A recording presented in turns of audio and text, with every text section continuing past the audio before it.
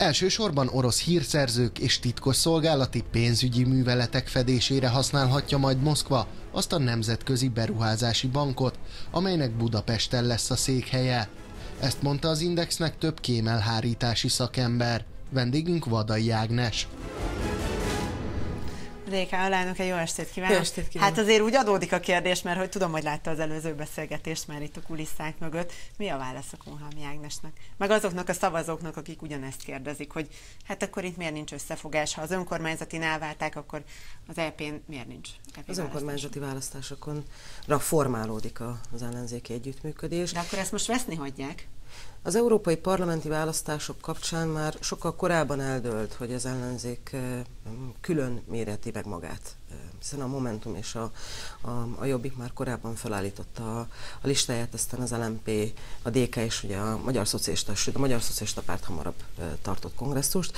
Ez egy tiszta listás választás, ahol az európai politikák, az Európához képesti politikák versengenek egymással. Ebben azért sokszor sok nagyon mást gondolunk, mint Magyarországról. Tehát a DK-nak nagyon világos álláspontja van ebben a dologban, mi az Európai Egyesült Államokban hiszünk, amit hogyha most megkérdezi, hogy hogyan fordítanám le, vagy mindig ez a kérdés, hogy mit Igen. jelent az Euró. Az Európai Egyesült Államokra mindig azt mondom, hogy, hogy ez a jövő és megoldás Magyarország számára, hogy a ma születő karcagi kislánynak, én karcagi vagyok, ezért szeretem azt a példát hozni, ugyanolyan esélye legyen, mint a Rómában, vagy a Madridban születő kislánynak. Szerintem erről szól az Európai Egyesült Államok.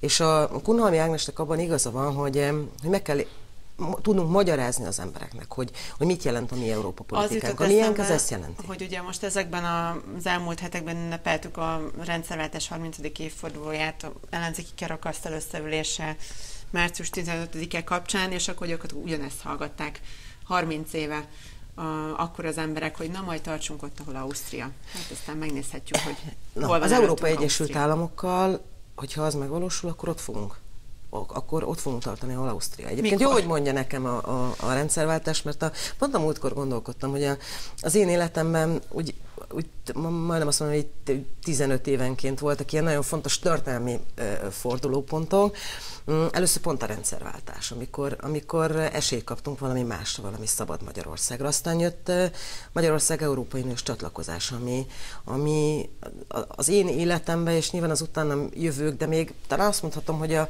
a, az előttünk járók életében is egy nagyon fontos dolog volt. És most jön a 2019-es EP választás, ami, ami újabb fordulópont lehet az én életemben és a magyarok életében is. Hogy tudunk-e csinálni közösen egy olyan Európát, ami esélyt ad esélyt ad a karcaki kislánynak, hogy úgy éljen, mint a római kislány. És, és mikor élhet úgy az a még meg sem született karcaki kislány? Mert, ez, hogy hát szerint, ez, ez szerintem csak, csak is rajtunk múlik, mert hogy, hogy én tényleg ezt gondolom. Mert Azzal hogy, a két vagy három mandátummal, amivel beülhet? Nem, rajtunk magyarokon, így szeretem eh, mondani, rajtunk magyarokon múlik, mert hogy, eh, hogy sokan szeretnek úgy beszélni az Európai Unióról, mint valami távoli, ködös dolog, pedig nem, hát Európai, az Európai Unió az mi is vagyunk, hát mi is európaiak vagyunk, mi is tudjuk, hogyha ott ülünk azoknál az asztaloknál, azoknál a formoknál, alakítani Európa jövőjét. Úgy biztosan nem, ahogy, eh, ahogy az utóbbi időben látom az Orbán kormányt, hogy mindenkivel szemben harcol, ellenben a nem túl hogy mondjam, szövetséges baráti államokkal meg, meg jókat üzletel. Szóval én, amikor az Európai Néppárt döntéssel megszületett, akkor, akkor én leginkább szomorú voltam. És azért voltam szomorú, mert akár tetszik, akár nem tudomásul kell venni azt a tényt, hogy a Orbán Viktor Magyarország miniszterelnöke. Az ő pártja eddig az Európai Néppárban ült, most ugye fölfüggesztették, meg gyámság alá tették, most te, mindegy, hogy milyen kifejezést használunk, de elesett egy csomó olyan lehetőségtől, nem csak a magyar miniszterelnök, hanem a magyar kormány, hogy Magyarországot képviselni tudja, hogy az érdekeit képviselni Ezt én is kérdeztem ez, ez Balástól, azt mondta, hogy most már kampány időszak van, május 26-ig semmi érdemi döntés nem fog születni. Úgyhogy ez annyira de ez, nem de, ez, de ez nem így működik, meg ez egyáltalán nem így működik. Szerintem az a videó, amit uh, talán a hétvégén láttam, de korábban publikáltak, ahol érkezik a francia elnök, és kezet fog mindenkivel, barátságos mindenkivel. És úgy megy el a magyar miniszterelnök mellett, mint hogyha ott se lenne, mint ha egy, nem tudom, egy le, a levegő lenne. Ez, ez, hogy mondjam, tudja, amikor az elmúlt években végignéztük a külpolitikában, hogy, hogy, hogy ki mindenkivel találkozik a magyar miniszterelnök, leginkább keleten.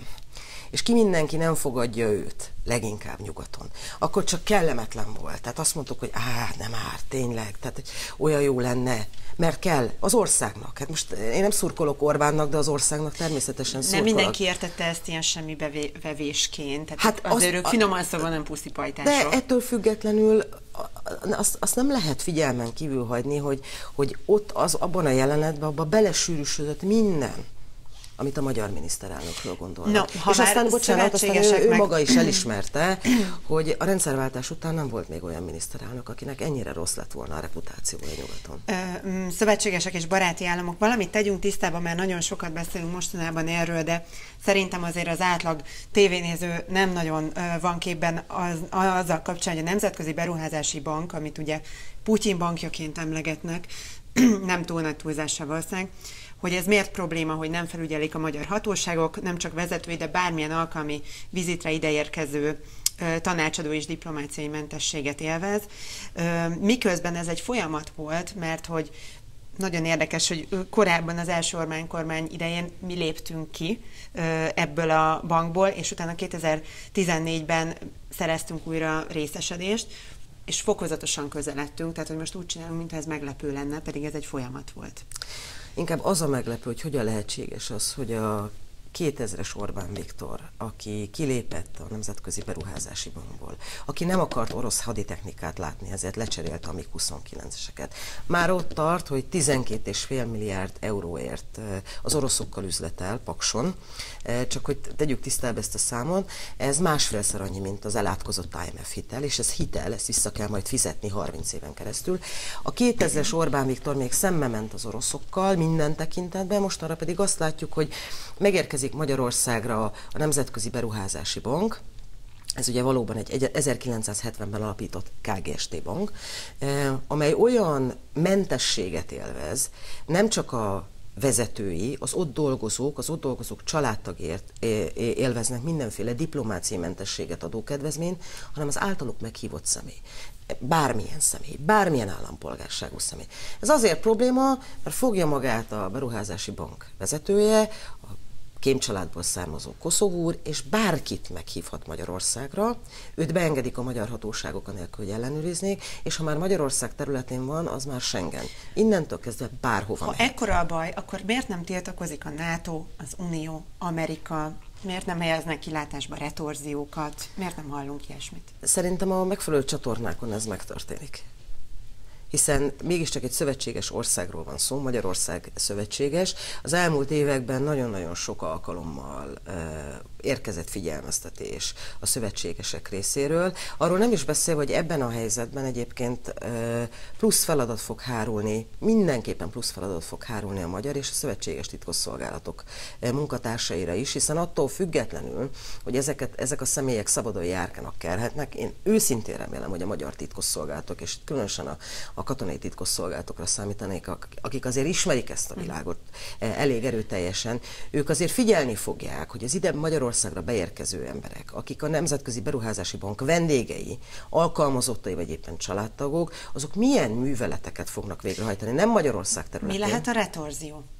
Tehát, hogy konkrétan mi lehet az, amivel minket büntet emiatt, mondjuk az Unió, vagy a NATO, vagy bármilyen más Ez a vége az lehet, hogy itt amúgy is az elmúlt években szabadon járhattak, kelhettek olyanok, akik akár a terrorizmus finanszírozásához kapcsolódtak, akár a szervezet bűnözéssel kapcsolódhattak, hogy a magyar állampolgárok számára a Schengeni lehetőség az előbb-utóbb el fog tűnni.